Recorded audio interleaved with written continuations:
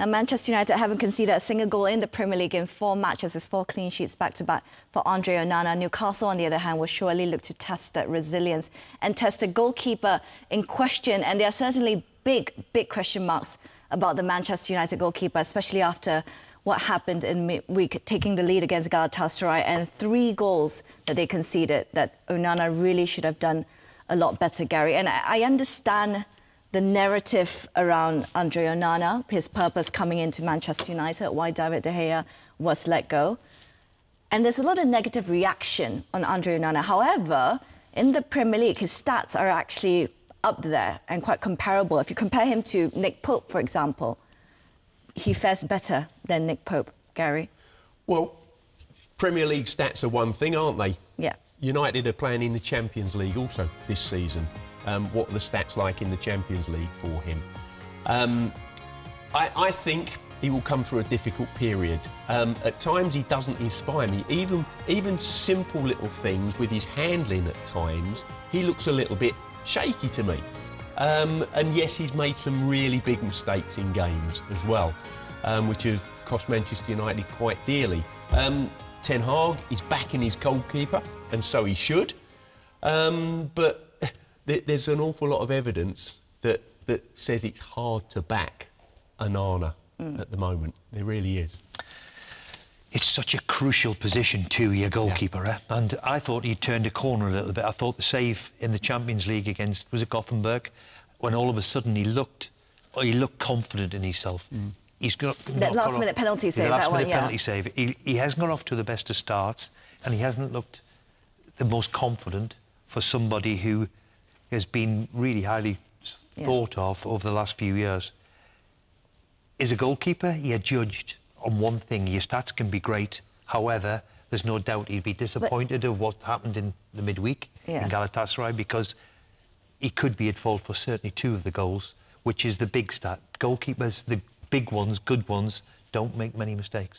Well, there seems to be a bit of a, a Jekyll and Hyde situation with Onana. Like you said, he can make those big saves, and it does happen. But the errors that he makes sometimes are quite how do, how do I put it? A, a bit schoolboy errors at times. And well, you, you, can't really expect which Andre Onana you're going to get on that day. Well, certainly the, the ones in midweek, I think, were, were pretty were, were poor by mm. any goalkeeping standards. So the pressure's on him today. This is all about dealing with Manchester United. And if you're a goalkeeper, the one thing you have to deal with is the expectation and, um, and, and be able to handle it. Mm. Let's hope he comes through it because they've paid a lot of money for him. And uh, obviously Ten Hag knows him, so he's confident that he's going to come through. But when you see the goals that we're just witnessing here now, he's gambled to go the other way, and that's an awful goal to give away. And um, uh, and this one is, I think Martial doesn't help him by pulling himself his head out the road. But again, you'd have to be disappointed if that was your goalkeeper. Well, look at the goalkeepers Manchester United have had down the years, and he's the poorest of the lot so far. And I know it's early. And if you're comparing the two, it's interesting. Pope gets a lot of criticism. I know which one I'd be. I'd rather be playing in front of.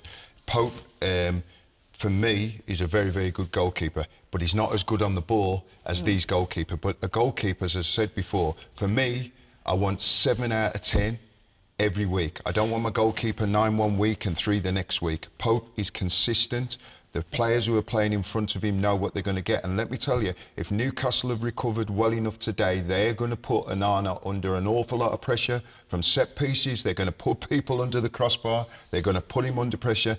And I think, I, I really believe Newcastle will beat them tonight if they, if they recover. They're, they're poor at the back. Uh, what uh, Ten Hag has done moving Luke Shaw in there uh, is beyond me. But Onana's not going to come and relieve the pressure off his back four. We've seen that. How does he go from being one of the best goalkeepers last season, has been the best goalkeepers for a few seasons now, to now being, based on the eye test, one of the poorer goalkeepers, Gary?